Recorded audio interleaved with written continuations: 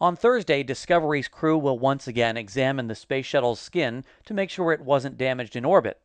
Uh, The crew of the Space Shuttle Discovery will, will be executing the uh, late inspection uh, to uh, to clear the thermal protection system for uh, for entry. At the same time, a new space station crew launching from Kazakhstan will be making its way to the station for a docking on Saturday. The crew of Discovery said goodbye to the current space station crew before undocking on Wednesday.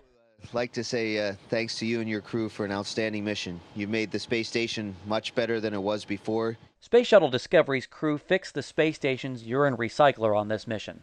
That machine turns urine into drinking water so that the upcoming six person crew has enough to drink without anyone needing to launch a large and heavy water supply. The shuttle is carrying samples from that machine back home for testing.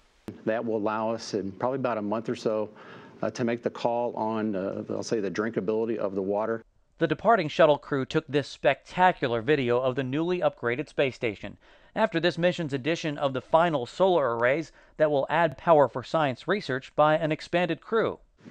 Well, I basically been working on space station for 15 or so years, and it's uh, you know you, you, always saw it in the in the pictures, uh, and you just wondered if you were really ever going to get there. It seemed like it took us 10 years, um, but uh, there's an extreme amount of pride and joy.